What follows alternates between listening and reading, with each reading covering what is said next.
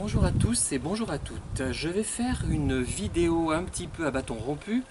Comme d'habitude, me direz-vous, hein, j'improvise souvent, mais après avoir réfléchi en amont. Hein. J'ai l'air d'improviser, mais ce n'est pas le cas. Soit j'ai travaillé euh, mon texte euh, par écrit, et j'ai pris quelques notes, euh, soit j'ai réfléchi en prenant le train de Clermont à Thiers, notamment. Bah oui, parce que je prends que celui-là en ce moment. Et et ce que vous entendez est le fruit de mes réflexions, toutes loufoques puissent-elles être d'ailleurs. Hein. Parfois, elles frisent la loufoquerie, mais souvent j'ai remarqué, euh, quand mes remarques paraissent euh, un peu extravagantes, elles sont souvent proches de la réalité. Hein. Euh, on ne raconte pas des choses même qu'on croit spontanées, qu'on croit simplement issues de, de notre cerveau un peu débile, par hasard. Hein. Et là, je me suis dit, mais ah, pourquoi je euh, pourquoi en fait je prends autant plaisir à voir une certaine personne manipulatrice hein, que j'ai croisée il y a quelques temps, quelques jours on va dire, euh, alors qu'en fait cette personne, euh, j'ai été obligé de rompre avec elle puisque je la trouvais nocive. Hein. Je ne vais pas utiliser le terme de pervers, je préfère utiliser euh, manipulateur, manipulatrice, c'est finalement euh, pour me passer de la référence à la psychanalyse. Euh, vous savez que je suis un adepte de la psychologie expérimentale plutôt, et d'autre part pour ne pas stigmatiser cette personne. Je vais plutôt parler de tendance manipulatrice, ce qui donne l'impression, fausse évidemment, hein, qu'elle peut changer. On peut toujours rêver, hein, comme je suis souvent dans le merveilleux et le fantastique mais même si je reste les pieds sur terre, euh, voilà. C'est pour ça aussi, c'est pour être plus, euh, comme chez Carrefour, plus positif. Et alors, je me suis dit, mais c'est incroyable, quand je vois cette personne, je suis euh, tout à fait en joie, ça me produit de fortes émotions, ça m'inspire, ça vous le savez, je vous l'ai expliqué maintes fois, et cette personne-là plus que les autres encore. Pourquoi? Alors, j'ai examiné un peu la situation, j'ai réfléchi, j'ai examiné la personne, hein, sans qu'elle s'en doute, sans doute, ça et j'ai remarqué euh, ce que j'ai pu remarquer avec certains acteurs ou certaines actrices. Notamment, je pense à deux actrices, euh, Judy Garland et Martine Carroll. Pour Judy Garland, on disait euh, que la dimension tragique de son personnage n'apparaissait à l'écran que par défaut et que Minelli ou Cucor avaient su filmer ces infimes discordances qui font le génie. Et pour Martine Carole, euh, je dirais que par moments, elle a également des passages à vide où euh, on voit l'actrice et on voit, enfin, on voit la femme et non plus l'actrice. C'est ça qui les rend toutes les deux euh, assez attirantes, je pense. Hein. Notamment Judy Garland quand elle regarde dans les coulisses. Vous regarderez un des derniers numéros de Summer Stock 1950, La jolie fermière, le dernier film qu'elle a tourné pour MGM, puisqu'elle a été virée du studio après. Euh, malheureusement, euh, le fameux Get Happy, où elle danse et chante euh, avec ce chapeau claque et ses jambes gainées de, bas noir, avec un, une sorte de petit tailleur, entourée d'hommes de danseurs très alertes, très compétents, extraordinaires même, euh, qui symbolisent euh, tous les problèmes qu'elle essaie de fuir et de nier. C'est un ballet symbolique en fait, euh, un, des plus célèbres de la comédie musicale hollywoodienne, parmi les peut-être les dix ballets les plus célèbres. on se rend compte qu'elle regarde dans les coulisses souvent comme si elle était inquiète. Il y a toujours quelque chose comme ça avec elle. Et la femme transparaît aussi bien que Martine Carroll pour Judy Garland. Et c'est peut-être pour ça qu'elle m'intéresse beaucoup, ces deux actrices, et que je vois beaucoup de points communs entre les deux. Euh, voilà. Et c'est la même chose que j'ai observé avec, euh, avec cette personne.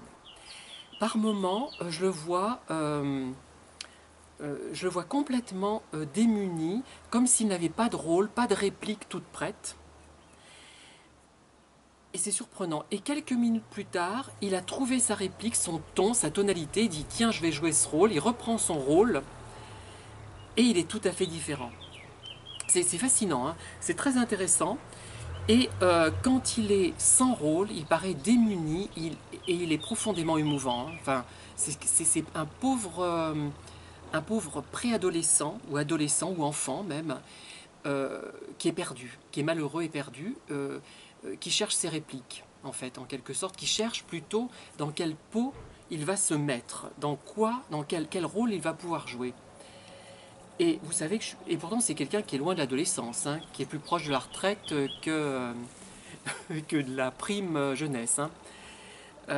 et voilà, donc ça, je trouve ça très très émouvant, attirant, séduisant, même s'il y a une part de, de, comment dire, de fausseté, de jeu, mais c'est plutôt un jeu pour se protéger. Euh, moi, je suis convaincu que même si les personnes manipulatrices sont effectivement malveillantes et nocives pour nous, elles sont avant tout très malheureuses, ces personnes. Hein. Évidemment, quand on va très bien, on ne va pas être méchant. Vous avez, je vous ai déjà expliqué lors d'une vidéo euh, ce qui m'avait rendu méchant, bêtement méchant et agressif finalement. Euh, et j'avais choisi la solution du silence radio finalement, mais je n'avais pas le choix pour garder mon, euh, pour garder la face finalement, voilà, euh, pour être cohérent avec moi-même.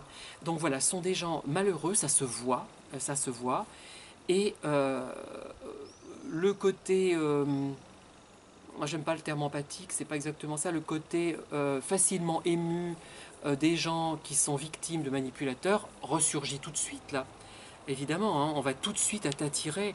Et puis en plus, comme ce sont des gens à la fois, comment dire, celui-là, je le trouve à la fois brillant et terne, terne quand il est sans rôle. Euh, il a un, réel potentiel, une réelle capacité, du charme évidemment, hein, ça c'est évident, euh, bien qu'il ne soit pas euh, une beauté classique, on va dire. Hein forcément, ça, va nous attirer. Hein. Et cette détresse, on l'aperçoit quand ils sont sans réplique, sans rôle, ces petits passages à vide. Et j'en ai vu plusieurs avec cette personne. Et après, par contre, le rôle évolue. Et ils reprennent confiance en eux et ils deviennent presque arrogants. Euh, et puis après, entre deux, euh, entre deux passages, de, de rôle, euh, ils, sont, ont une mine euh, réjouie parce qu'ils sont contents qu'on les regarde. Ça les rend heureux qu'on s'intéresse à eux, hein. même pour en dire du mal, je pense. Ils sont contents, puis ça nous fait, moi ça me fait plaisir. Et puis spontanément, euh, je ne peux pas m'empêcher. Je, puis ça, c'est euphorisant. C'est, pour quelqu'un qui crée, je le dis et je le redis, je ne le redirai jamais suffisamment c'est vraiment quelque chose d'euphorisant. À condition, à condition de ne pas vivre avec ces personnes et de ne pas rechuter, de ne pas retomber dans leur filet, c'est-à-dire de ne pas entretenir de vraies relations. quoi. Mais ces relations superficielles comme ça, c'est très bien. Moi, ça me, ça me met en joie, mais pas du tout par, euh, parce que je, je, suis sadique. Enfin, sadique si, peut-être parce que moi j'ai un côté finalement, euh, je vais bientôt écrire des, petits livres, des petits romans, enfin des nouvelles plutôt, des grosses nouvelles, et ça sera des mélodrames. J'aime voir euh, les gens malheureux, ça me fait... Enfin, c'est pas que j'aime voir les gens malheureux, mais c'est émouvant de mettre en scène un pauvre, un pauvre garçon, une pauvre fille qui est malheureuse et qui, qui après ça s'arrange. Enfin, voilà, on est tous comme ça. Hein. Mon intérêt d'ailleurs pour certains, certains sports comme la boxe, c'est peut-être lié à ça aussi. Hein. Il y a une part de de ça, je pense, hein, dedans. Bon, à part le côté érotique, le côté sportif, le côté esthétique, évidemment. Euh, moi, je crois qu'il y a de ça. Euh, euh, le pauvre, oh là là, c'est triste, il, est en difficulté entre les cordes, là, mon Dieu. c'est émouvant, ça, voilà.